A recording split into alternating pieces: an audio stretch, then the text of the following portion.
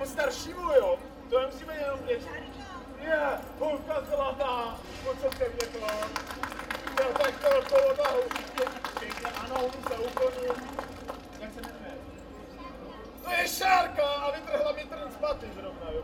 Šárko, prosím tě, budeš mi tady dělat základ kapely s bubnem. Jo, tak pojď tady za buben. Jo.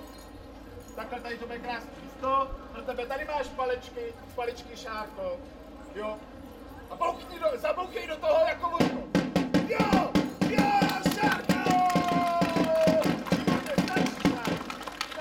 Jo, tady já ti seženu, teda aspoň doufám. Jakýho kamaráda... A hraje! A.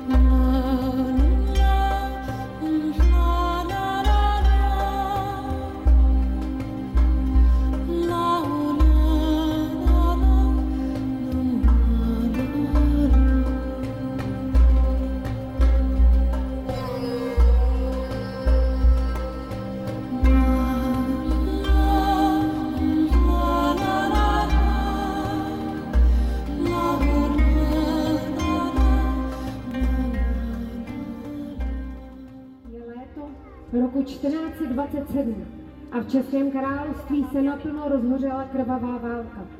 Husité a jejich ozbrojené houfy směřují sem k Tachovu.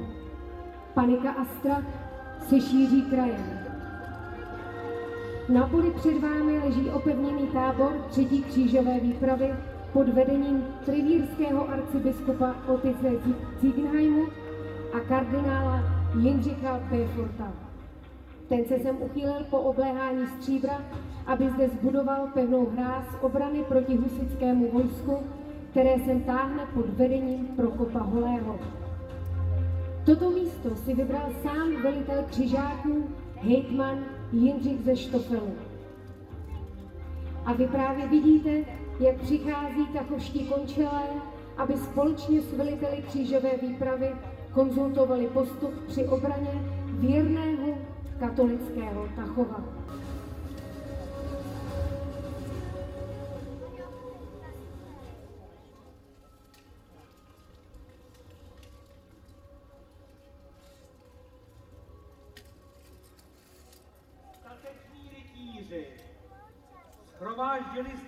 Zde pod praporci se znamením kříže, aby ve jménu Boha, církve a císaře svaté říše římské Zikmunda bylo skoncováno jednou proždy s kacířstvím, které je horší než moc.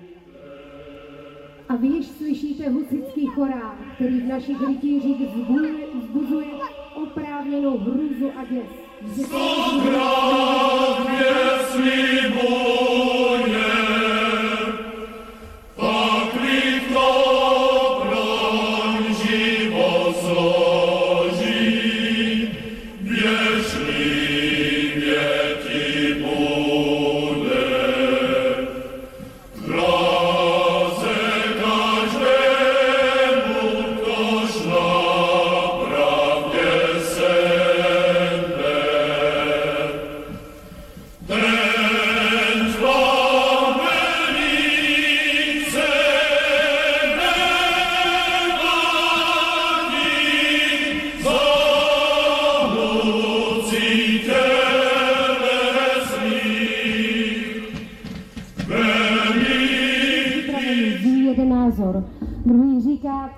čestné, musíme počkat, až budou připraveni. Třetí se vkládá do hovoru. Jejich převaha, nevíme, jak velkou armádu mají za kopcem. Čestně ustupme. Další praví, ustupme za hradby. Tachov je pevné město, vydržíme. Směsice těchto názorů a nejednotnost vyvolala rozkol mezi křižáky. Nicméně velitel dává jasný povel.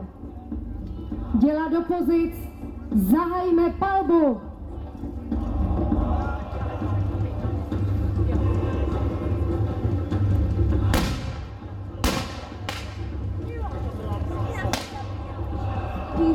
Část rytířů opouští tábor a berou nohy na ramena. Další část se rozhodla bojovat a první salva na vozovou hradbu měla husity zastavit.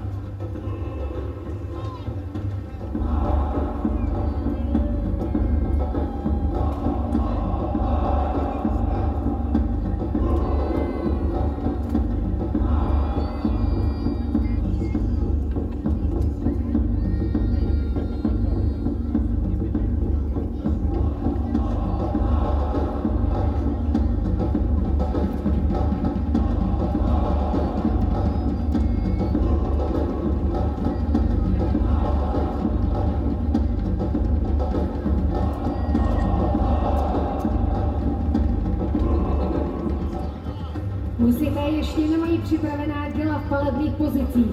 Toho využívají katoličtí a střílejí další salvu.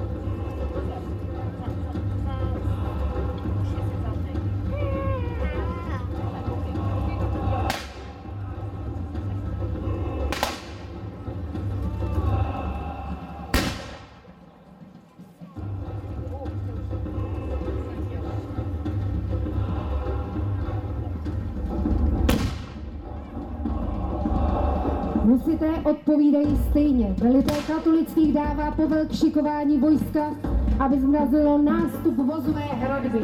Rytíři kříže před!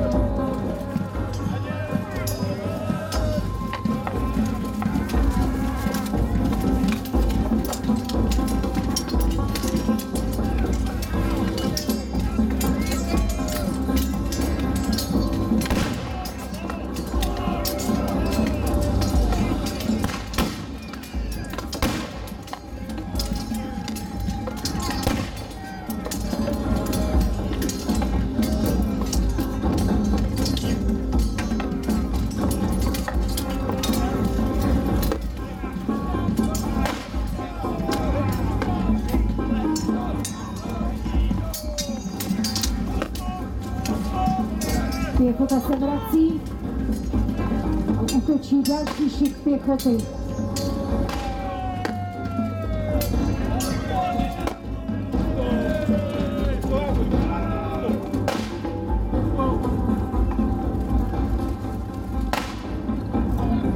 Útok na vozovou hradbu byl neúspěšný.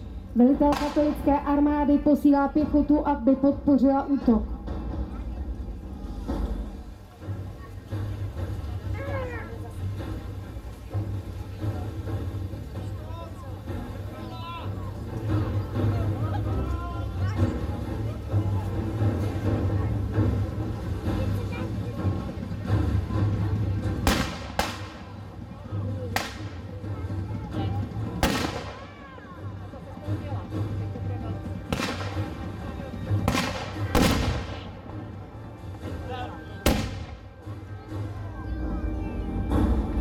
Pěchota je odražena, husité opětují palbu.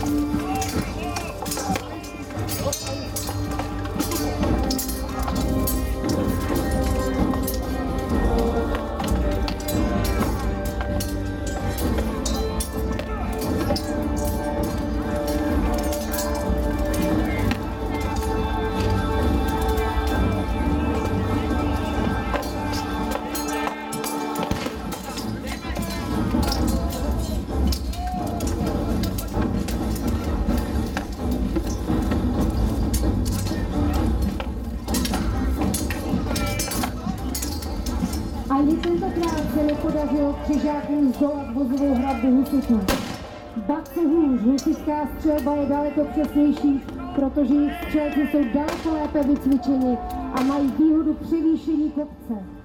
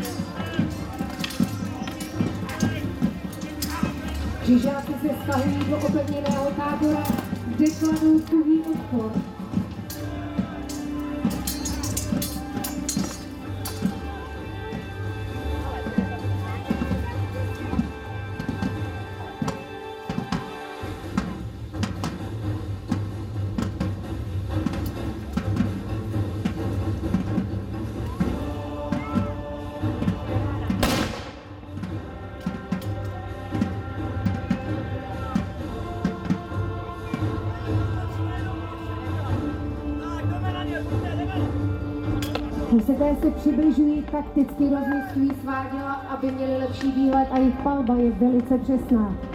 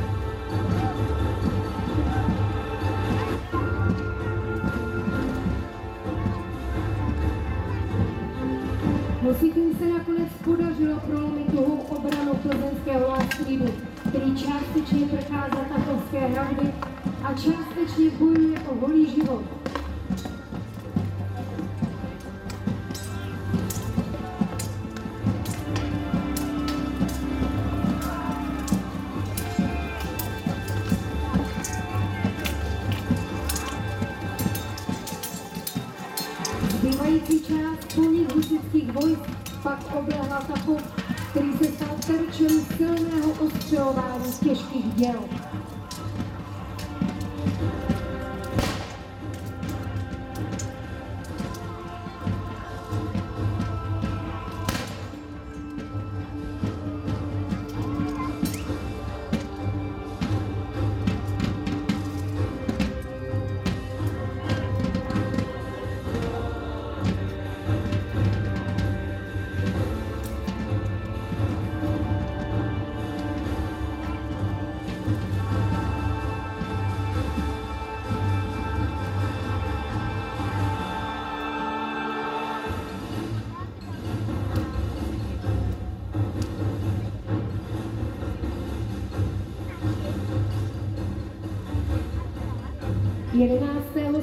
Se husitům podařilo město zapálit a po tvrdém boji Tachov padl.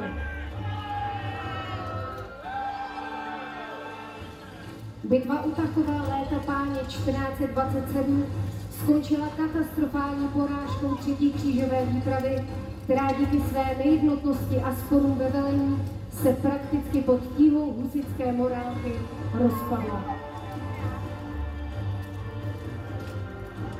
Je dobojováno.